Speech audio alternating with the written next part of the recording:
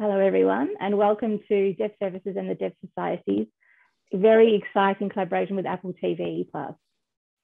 We have a panel today from the CODA Film. I'm Vanessa, and I will be your co-host this morning with another co-host by the name of. Hello, everyone. My name is Daniel Hately. I'm a CODA myself, and I'm thrilled to be here this morning co-hosting with Vanessa. I will introduce the panelists with us this morning. Firstly, we have Sian Heder, who is the writer and director. Our acting team is Marlee Matlin, who was the mother in Coda. We have Troy Kotsur, who was the father in Coda. Hi, everyone. And we have Daniel Durant. Who Hi. Was the, who was the, the son. Welcome.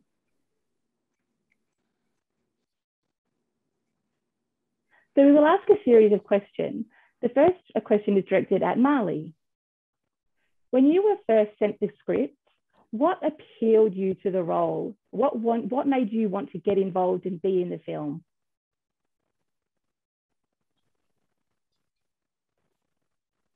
Uh, hello, everyone in Australia, by the way. Good to see you all. And to all the people who are watching our broadcast and the panel. Thank you for having us. It's really uh, very much appreciated. Well, when I first read the script, I absolutely fell in love with it because of the fact that the story and the dynamics of the family, and particularly having three deaf roles carrying a film, uh. appealed to me. It was very exciting. And I knew that this was something that I had to do, that I had to shoot. And I was very blessed to be able to have been in it. Fantastic. So I would like to ask Daniel the next question. When you received the script, I'm quite interested in knowing the process. Did you pick up the script and then translate it yourself into ASL, or did you have an ASL consultant who worked with you in translating the script from English to ASL? And was it flexible or was it fixed in terms of the script? Were you able to adapt it to your needs or what was the process behind it?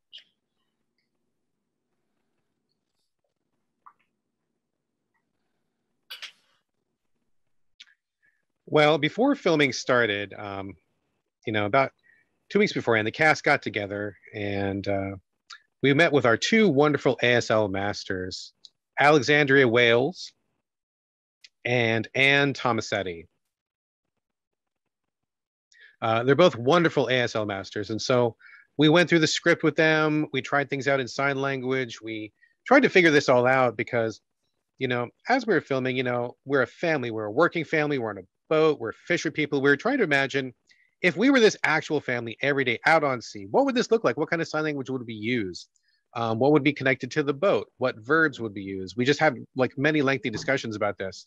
And it just started from there. We took the script apart and and worked through it and during filming, um, you know, sometimes Troy is so great at improv. He's a wonderful improv uh, actor. And sometimes he could add some things as we're going. He'd put a line in here, a line in there. And of course, it'd be up to Sian to say, Oh, I love that. Let's keep it. Or, No, no, no, Troy, please don't say that again. Let's get rid of that. And we would go through many iterations of this, and some lines we kept and were flexible with, and some lines we got rid of and stayed to the script. Uh, but I think you know the really important part of this was having the, the ASL masters always there on set with us for constant consultation to keep eyes on what we were doing, to modify lines if needed, to keep notes about what was happening, to keep the director informed. So that was really the great process we went through.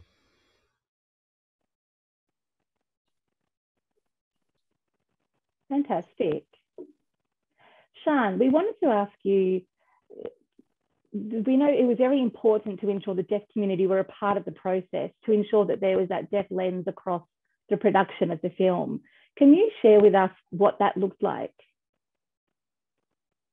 Sure. Well, it started for me at the script stage. So before I even started writing, I felt like there was a huge amount of research and education that I needed to have, particularly as a hearing person who was coming in from outside of the community. And I felt strongly that if I was going to be representing this culture that was not my own, I had to surround myself with people who had lived it, um, who could collaborate with me and be my deaf eyes on the script my deaf eyes on set, you know, all along the process. So at the beginning, it was really about having, you know, CODA consultants, deaf consultants reading the script, um, lots of conversations as I was embarking on writing, um, lots of reading, you know, lots of you know, going to Deaf West to uh, see those collaborations between hearing actors and, and deaf actors and, and how they were doing it. That was the first time that I saw Troy Kotsur was on stage at Deaf West um, in an Edward Albee play. And I was like, that guy is amazing. And I need him for my movie. And um, so it was really an education as I started writing. But then I always knew that the script was only going to be a blueprint because I was writing the script in English and I was writing the script largely with a hearing gaze. And I knew that it was going to be something that was going to have to evolve once we were on set. And so the first step, as Daniel was saying, was when Alexandria Wailes got involved. And she sat with me with the script and we went line by line through the script and we talked about the meaning of the lines because as we all know you know spoken english is so different from asl and there is not a one-to-one translation and there were lines that i'd written or moments i'd written that didn't fit with deaf culture that felt like they were coming from a hearing perspective. And so in order to make the script really authentic you know those english lines needed to change. And we would work together on the signs to you know sometimes she would show me a sign and i would go you know what? I want something that feels you know angrier in that moment. Let's find a, a more dynamic sharper sign. I remember one time we had a line that was you know do you want me to die here? And the sign for die is sort of a little passive and instead we changed it to you're killing me because killing was a more active sign and it felt like the actress could channel rage better. So we kind of did that process with the script where we were going through every piece of dialogue and talking about the lines and doing the translations of the songs as well. And then when my actors came on, we got to kind of throw it all out again and and explore together. So our rehearsal process became almost a language lab where everyone was bringing their own choices to the table. So you know, Troy is an incredibly inventive, creative signer. He uses sign language in a way that I have never seen anybody use sign language. So Troy is going to bring Troy to it, you know, and he's going to find all of these amazing um, elements to Frank that fit so well with the humor, with, you know, his rhythms as a person, with his his jokes and and then there was a lot of work to also become a family so, how do we get everybody feeling like they are signing like they're from Gloucester? Because there are regional signs in Gloucester, which none of us knew until we showed up there, you know, the name sign for Gloucester, or these kind of very specific, you know, signs for different fish or the elements on the fishing boat that were so specific. And then how do we get everybody working together? And my actors were so invaluable. And so then the script changed and again became this like living, breathing thing that we all got to find together. So I'm incredibly grateful to have had these collaborators.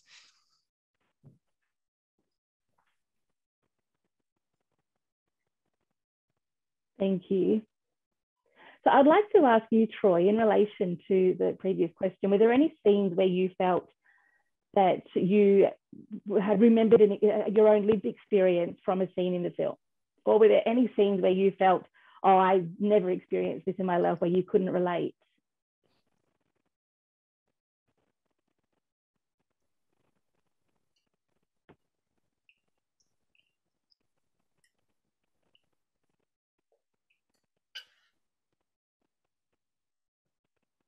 Okay. First of all, thank you so much for having us to be a part of this here in, Aust- in Australia. I want to say hi to all the kangaroos out there. Hello.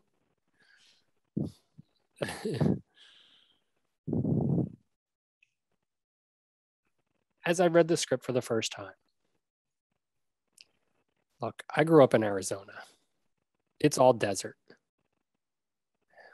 Kind of like Australia, the hot sun. And I had never seen a whale in person. That doesn't exist in Arizona.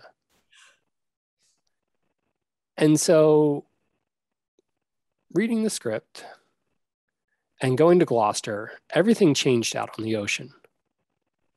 And as I read the script, as Sian said, it was really a blueprint or a guide to tell the story.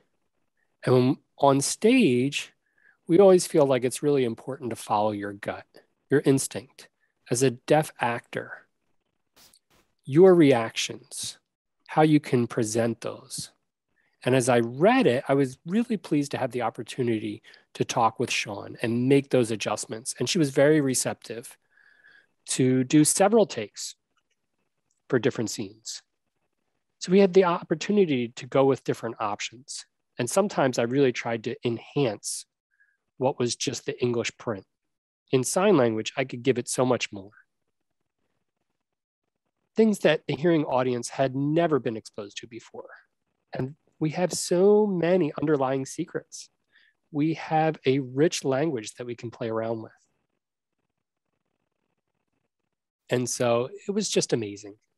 We worked so well as a team. We had trust, open minds, and it all led to this great product in the end to tell that story. Fantastic. Thank you.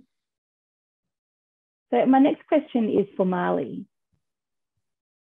After the film was released, people were so excited to watch it. There was a lot of talk in the deaf community. There was some conversations around the coda character Ruby not being a coda herself in real life. What were your views on that, Marlene?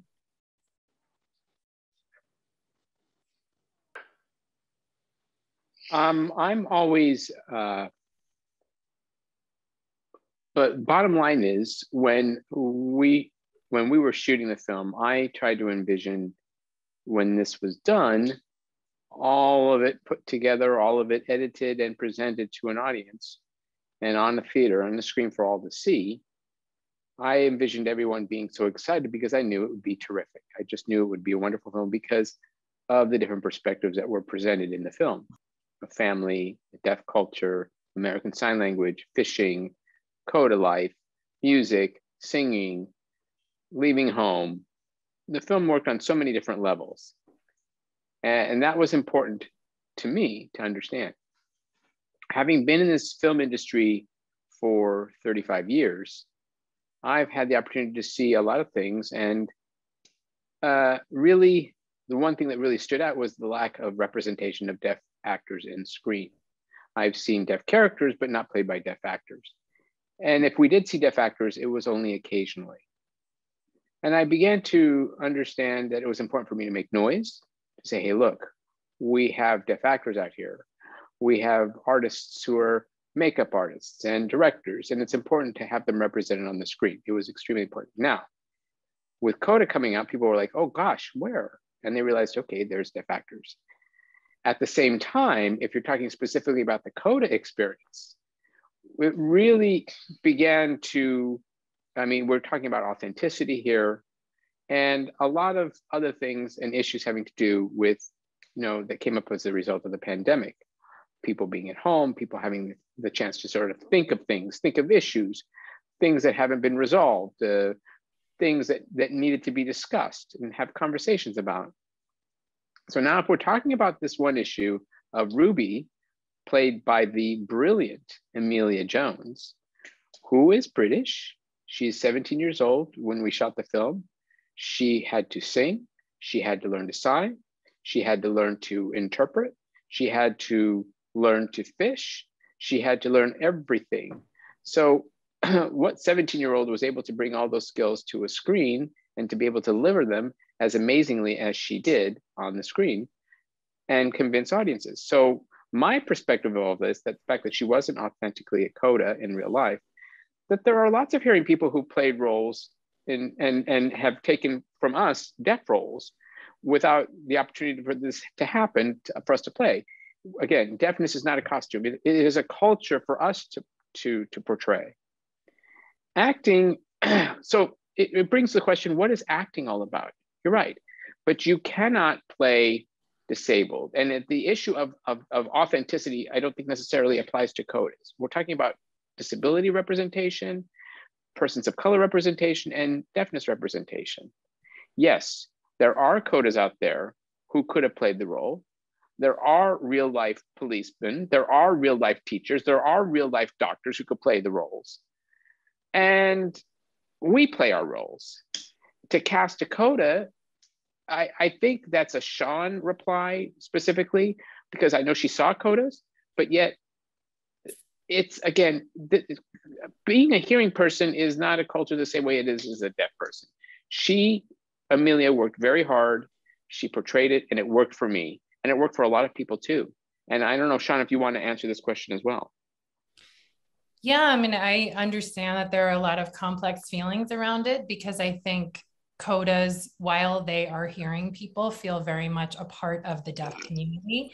And there is a real identity that comes along with that. At the same time, it it is a hearing person. And so the reality is that when I set out to look for the role of Ruby, um, I looked for a real CODA. You know, I was looking for that actress to fill so many things that she needed to do she needed to sing so exceptionally well that a music teacher would stop in their tracks and go, Oh my goodness, you have to do this. You have a gift. It had to be undeniable. So I was looking for a singing voice that was absolutely undeniable. I was looking for a 17 year old and I wanted someone who was authentically 17 because I think I hate in films when you have a 25 year old playing 17 and you're going, that person is not in high school. Um, I needed someone who was going to go out on fishing boats and learn how to look like she'd been doing that her whole life and be comfortable out at sea, pulling in the fish and running the nets. This person had to do comedy and drama and was in every single scene in the film. So we did a big search. I saw over a hundred girls for that role. I really looked. I tried to find a real coda you know, I couldn't find the voice, the singing voice in that coda. I couldn't find. So it was ultimately a choice that we made to have Emilia play that role. And she worked really hard, you know, to get up to speed on her sign language so she would look authentic. And um, I think from everything that I've heard, she does. So I think it was a choice that we made. And I agree with Marlee, you know, I think it's it's hard in all these conversations about authentic representation where you know, Troy is not a real fisherman. And I am sure that uh, some of the fishermen watching the movie might go, you know, I don't feel like he's representing what that is to be a fisherman. So I think everyone has their identity and their community. I get that being a coda is different because it is a it's an intense it's a culture and it's a lived experience. So I honor that. And I really tried to find it and I just couldn't. And maybe now with all the publicity of the film i could try again and maybe i could find that girl and maybe she's out there but we looked really hard and and emilia was you know the best person that we found for the role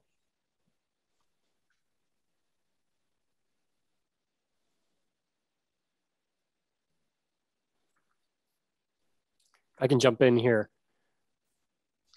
What Marlee and Sian have said, I agree wholeheartedly. That aside, why I was excited is that this was historic. Um, you know, usually had in silent film, there was more access, right? But then people didn't really know about CODA. They just think about the musical meaning and then they see the movie and that brings it to the forefront and it increases the awareness of what a CODA is, that there are so many real life CODAs and they have this identity that they're proud of. And when you meet them, you say, they might say, I'm a CODA. Now people have a reference. They know what they're talking about. The awareness has been increased. And this is the beginning.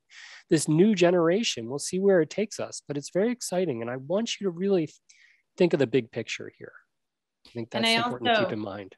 To jump in, I mean, I think we also had many CODAs working on the movie. Um, we had from the script stage, you know, I think I had four CODA consultants working on the script with me. Um, we had CODA interpreters on set. Heather Rossi was one of them. Jack Jason was another one, both CODAs themselves.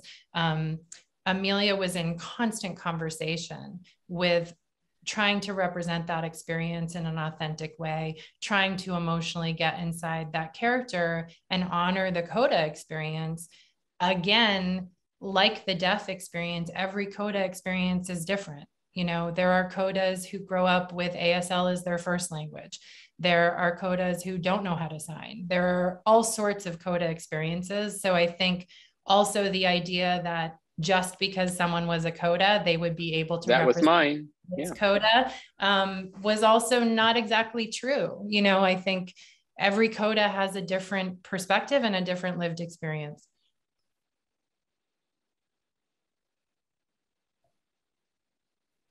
That is very true. There are many experiences. I'll never forget the, the moment I was involved in a play with different hearing actors, and they knew how to finger spell they were in their 30s. And I thought, okay, maybe they studied ASL, basic finger spelling at a university, but I found out that they were a CODA. So tell me about it. It very much is an individual experience. Absolutely. Thank you so much for your response. That was a great conversation.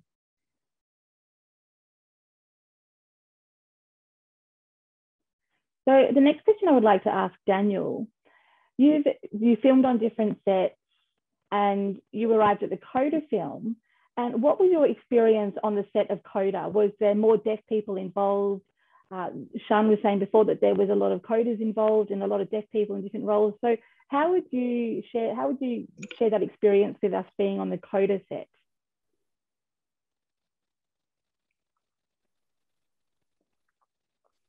I mean, it was it was fun. It was so fun.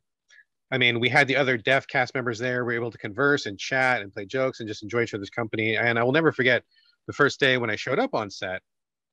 I mean, there were like cast and crew all over the place, and I didn't know anybody around. And of course, I was kind of new. Um, I mean, I knew who Troy and Marlee were. I had worked with them in the past, um, so I saw them and said hello. Met the director Sian, uh, got to know them, and we had some interpreters who themselves were codas, as was mentioned. Um, so they already had a lot of deaf culture within them, and it was great to be welcomed into that environment. Um, as we started filming day after day, um, you could see the crew who at first were, you know, a little nervous. They didn't know how to deal with deaf people. They weren't sure what to do. But as we went on, they quickly learned how to communicate and sign. It didn't have to be specifically ASL, but they were gesturing. You know, for example, a cameraman would do this and do these kind of gestures. Then I, he would direct me over and I'd stand where I needed to go. Um, it wasn't actual ASL, but then by the end of the day, like all the crew just, I mean, we just were a family. We were connected. We enjoyed working with each other. And to be honest, I mean, the Coda experience is like I think the best cast and group of people I've worked with. I mean, especially with Troy and Marlee and Emilia, all of us like as the actors. I mean, it was like a magical group. Um, it, it was like we had chemistry already there uh, from day one, and you know, at nighttime, uh, Marlee would cook us dinner. And just you know, FYI, she is a wonderful, amazing cook. I don't know if you know that or not. We'd go to her house and she'd cook for us, and we'd chat, and we would just increase and grow that chemistry. So I feel like it was great. I mean, I feel like I really loved working with the other deaf actors.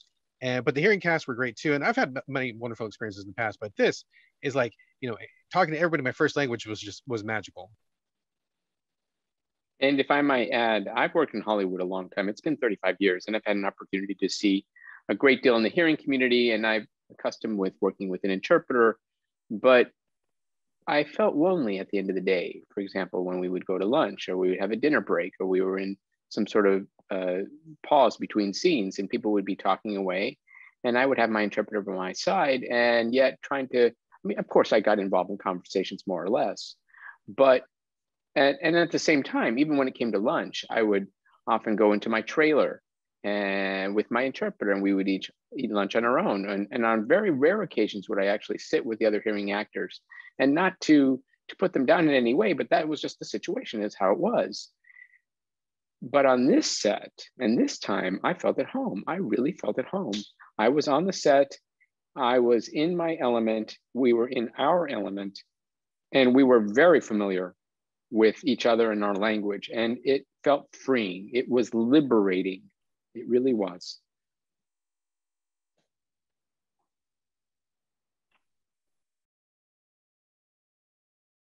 yes, when we came together as a family, not even with the camera, we would always joke around and kid one another. And we'd have food and we'd make faces with our food on our plates and to try to get a laugh, right? Only I'm try. trying when I'm behind the camera, I want to feed into it. It's collaborative, it's fun. We know we want to give our best to the film and to tell the story, to make it as real life as possible instead of just doing things by rote and doing your damn line. No, no, no. And Emilia, uh, I have to say, when we first met her, she herself, being from England, had to transition from a British accent to an American accent, and and and so many other skills she had to bring to the table. But I was so impressed. But I have to say, when we first met uh, with the cast and the producer and director, we, uh, the three of us as deaf actors, embraced her immediately, um, so that we would become a family right off right off the bat without an interpreter. Just just put her in and and have her you know learn right there on the spot and even when we ordered through the wait waiter uh, we made sure that she experienced the real life experience of interpreting for us as as as, the, as a deaf family and she learned very fast I mean, I did too. And honestly, the culture on set definitely felt like ASL took over the culture of our set in a really beautiful way. And as Daniel was saying, you know, at first the camera operators were like, I don't, how do I tell Troy to move over? And it was like, you're a person, Troy's a person, you guys figure it out. And to watch the crew start to sign, be hungry to learn sign. Um, Emilia and I, you know, were signing with the cast. Um, sign language started to be used on set when there were no deaf actors on set. So when we were out, you know, Emilia and I were shooting on the quarry and she was at the top of the cliff and I was down on the water.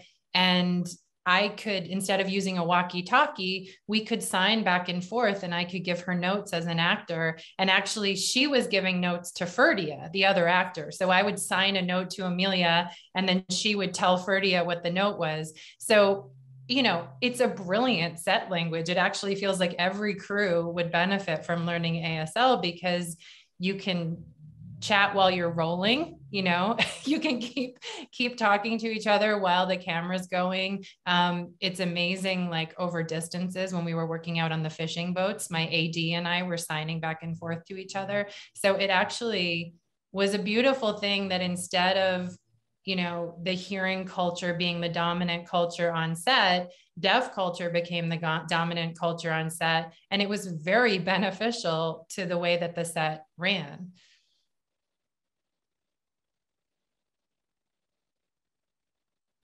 So a truly bilingual, bicultural environment.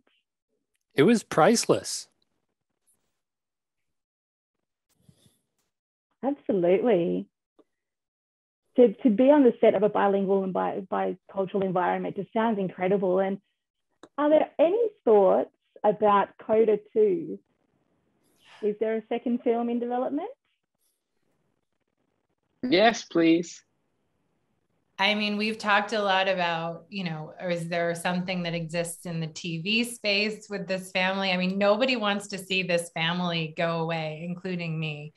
I mean, I ended up going to Gloucester last summer and I was walking around the town and I kept feeling like I was going to run into the Rossies somewhere. Like I felt like, oh, I'm just going to be at the supermarket and the Rossies are going to be shopping because it feels they feel so real and they feel like they exist and that they're still living in the town. So certainly my brain is still thinking about that family and maybe we will find another another project to to you know but either way I want to work with these actors again and I'm inspired by them. I want to create for them. I feel, you know, that you have three brilliant actors here who don't work nearly enough and so i I'm constantly thinking about projects and and ideas um, to be able to work together again because it was such a brilliant experience.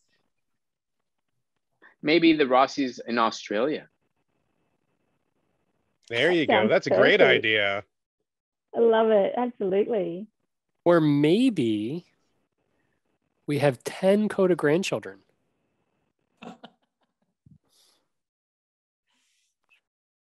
It's you know, and have them do the fish shipping business, the fishing business. Sounds good, Troy. Thank you so much for joining us today and for these, questions and answers. I would like to ask our CEO, uh, Brett Casey, to come and say a quick hello.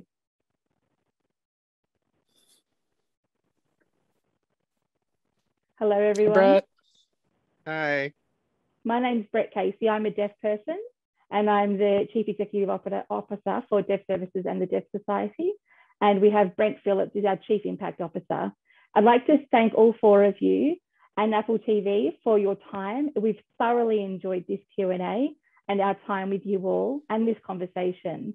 Deaf Services and the Deaf Society provide opportunities for the deaf community in Australia and the film Coda itself did that in spades. It provided a different viewpoint for our hearing community, our deaf community, and it's just been absolutely brilliant. And it's fantastic to know that it's out there and there are millions of people watching it. So we have an open invitation for you to come down to Australia as well. I'll make sure I've got a kangaroo party ready for Troy as well. All right. Amazing, amazing. Thank you. Thank you for being part of our journey. Thank you so much. Thank you. Yes, thanks for having us here. Thank you so much. Thank you. you love to everybody in Australia. Love to everybody. Yes, Thank love you, you all, all for joining love us. you all. Love you. Okay. Thank you. Thank you so much. Bye, everyone. Thank you. Bye love bye. you. Bye-bye. Oh, sometimes I get a good feeling, yeah. Yeah. I get a feeling that I never, never, never, never had before. You're the girl with the deaf family? Yeah. Yeah. And you sing. Interesting. Something's got a hold on me here. What are you doing next year? Working with my family. Let me tell you now, I've got a feeling I feel so strange. Everything about me seems to have changed.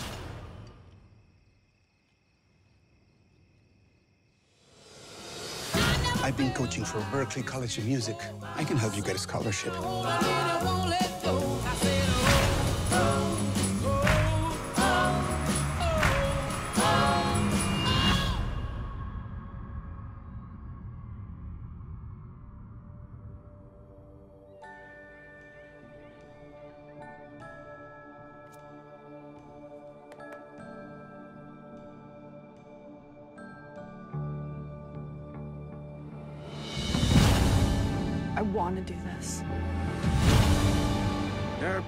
Of pretty voices with nothing to say.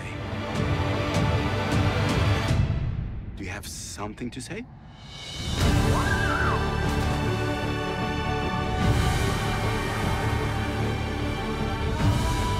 You will be required to have a hearing individual on board at all times.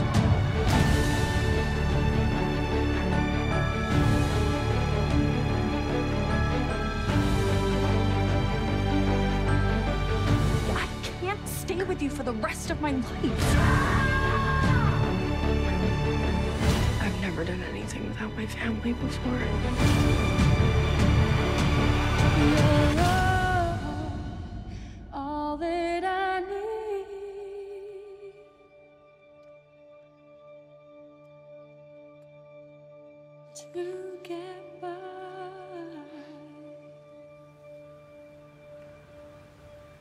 PG 13.